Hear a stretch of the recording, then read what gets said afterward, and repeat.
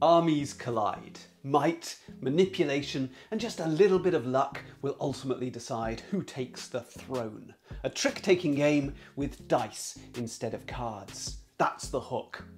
I'm Adam Porter. I design games and I review them on this channel with a focus on product design. And this review is going to be a little bit different because I'm going to be picking apart my least successful published design, Thrown a game which never found an audience and received some pretty strong criticism online. In this video, I'm going to reflect on the mistakes I made in the production of the game, the lessons I learned, and what it's like to design a game which one BGG user described as wow, what crap. Thrown was a 2019 release from WizKids, designed by me and playable for 3 to 5 players in 30 minutes or so. In Thrown, each player draws a selection of dice from the box without looking. Each round of the game is made up of several tricks. And to start a trick, one player rolls between one and three dice of any single colour from their pool of dice. Then each subsequent player must decide how many dice they want to roll in an attempt to beat the other player's scores. If they're able to, all players must roll dice matching the colour rolled by the first player. If they're not able to roll a matching colour, they can roll one to three dice of any colour in an attempt to roll a trump. And in Thrown, a trump is a roll of six on any individual die. If any player rolled a trump, they win the trick. If no trumps were rolled, the highest roll in the starting player's chosen colour wins. And if there's a tie, the later player to roll wins the trick. The winner of the trick gains one gold for each dice rolled in the trick which wasn't their own.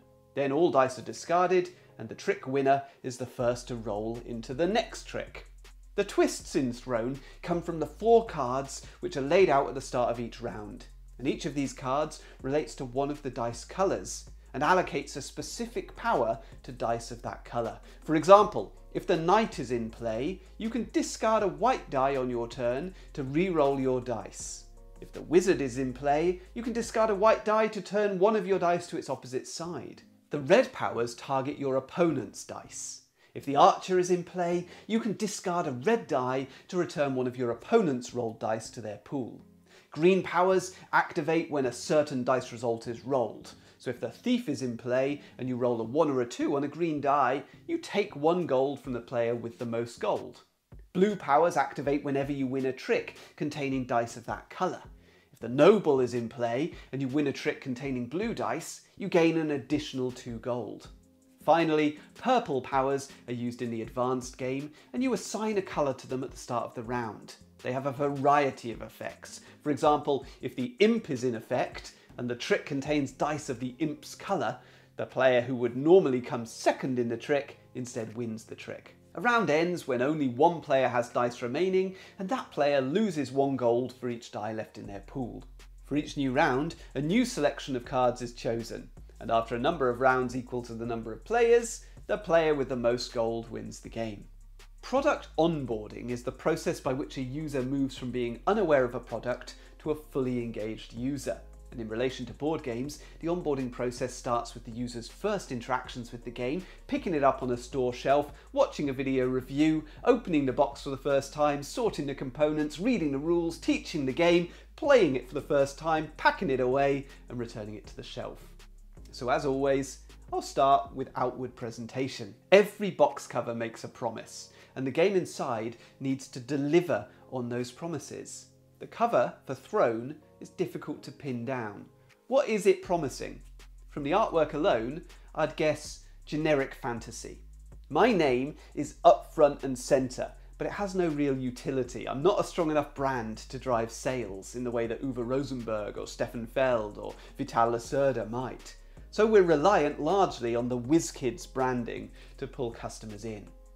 Thrown followed hot on the heels of some other really good fantasy titles in similarly sized boxes with similar art styles from the same publisher. Fantasy Realms and Rock Paper Wizard were both exceptional games and commercially very successful. I would guess that some of the early purchases of Thrown were made by fans of those products. Well, that's a lot for my little game to live up to. A great box cover should tell us what we're going to be doing in the game. The cover of Thrown doesn't give any indication of the nature of the gameplay. Several years on, I still give myself a little pat on the back for the title, Thrown, a nice little gag referencing the dice chucking nature of the game. But in the absence of any supporting visual clues, or even a subtitle, the pun is lost. The reverse of the box has a pretty clear description of the gameplay, but that of course is only useful if a customer is motivated to flip the box over and take a closer look. It's really hard to be critical of your own product, but I've been outspoken about plenty of games from other designers and publishers on this channel, so as painful as it is, I think it's a process worth going through. And it's certainly an exercise which I would encourage any other inventor to do with your own designs. Reflection, self-awareness and insight are valuable tools and they're going to help you to weather the highs and lows of the life of a game designer. I've often stated that a great board game cover should tell us how we're going to feel playing the game. But Thrown is a mixed bag here. The four characters portrayed on the cover clearly depict a battle between different factions, and the game is indeed competitive and in your face. I think the wizard image is the most evocative, primarily because he's in a really dynamic stance, where the others are all rather passive. I'm not a huge fan of box covers which reuse card art. I do prefer a unique cover image designed specifically for the job, but I appreciate that this comes at an additional cost for a publisher. My main observation about the art style for Thrown is that it's all very serious.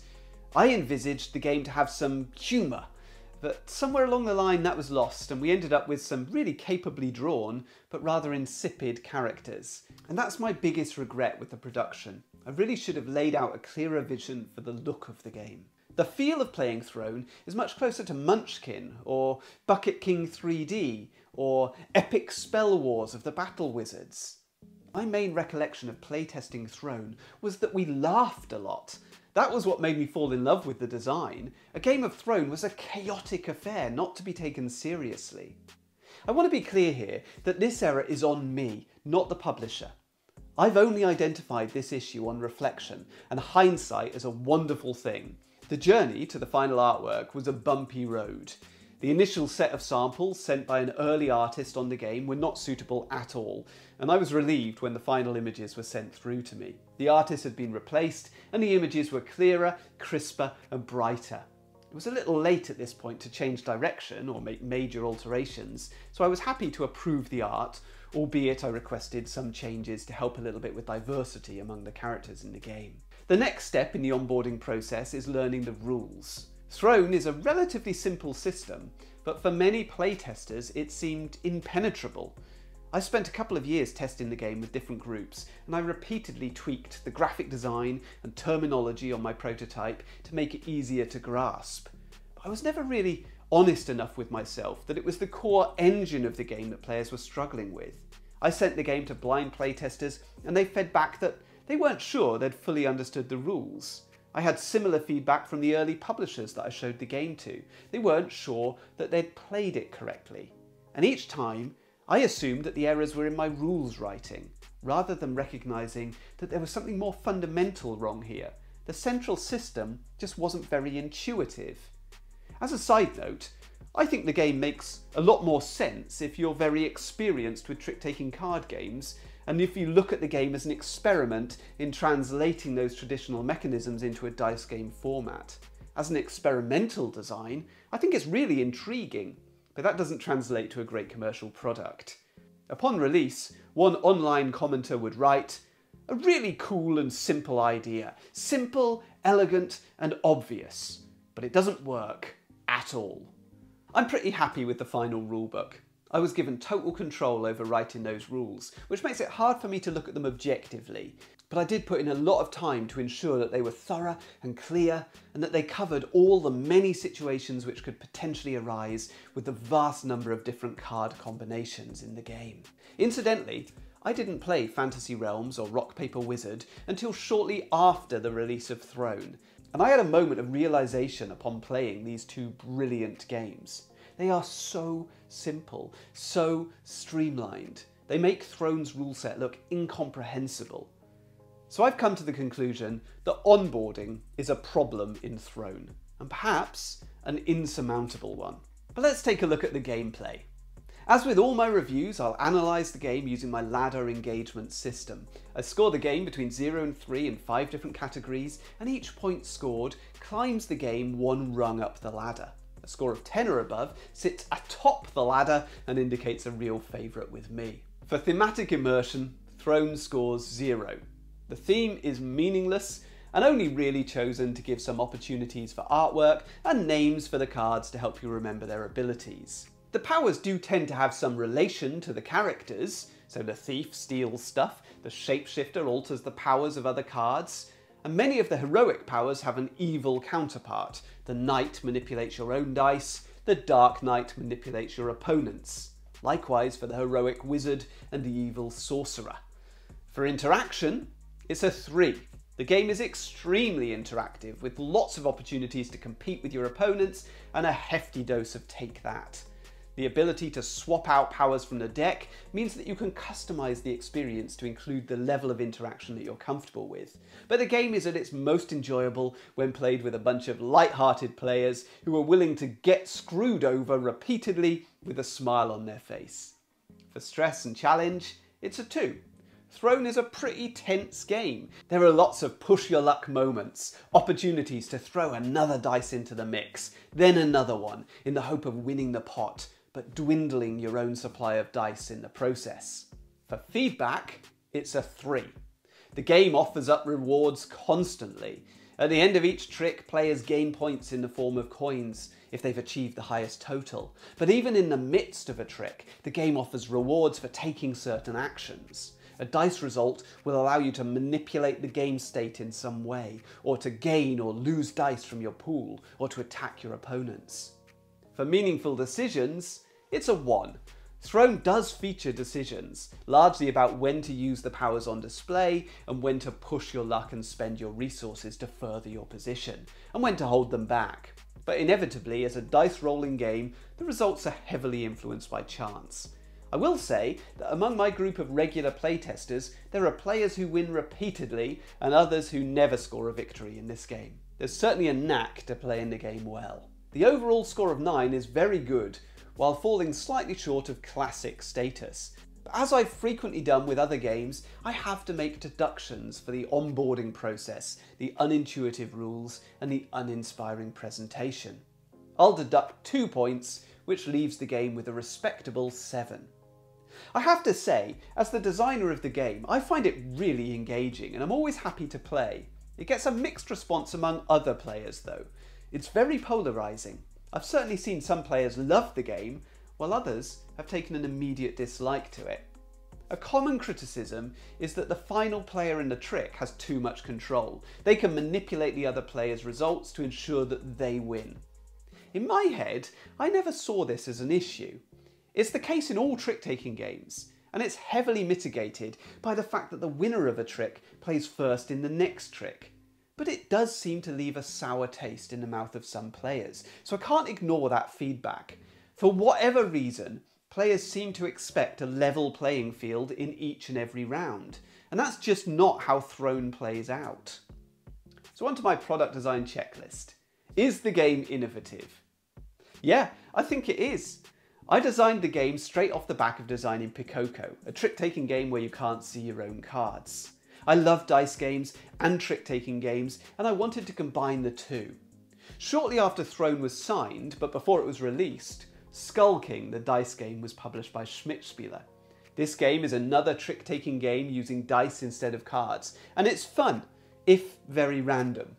But frankly, I think the concepts and solutions that I developed in Thrown are more interesting. Does the game answer a need? Well, if you'd asked me while I was developing the game, I'd have said yes, absolutely. People love trick-taking games and they love dice games. There is no game which combines the two. Players are going to love it. But if you ask me now, I'll give you a different answer. With Thrown, I identified a gap in the market and I filled it. But the truth is, that people love trick taking games and they love dice games, but they don't love trick taking dice games. Trick taking fans are very particular about what a trick taking game should and should not be. The chaos of rolling dice was not welcomed by trick taking aficionados, and the complexities of the trick taking tradition were not welcomed by dice chucking fans. Thrown falls between two stools. Is the game able to grow with its user?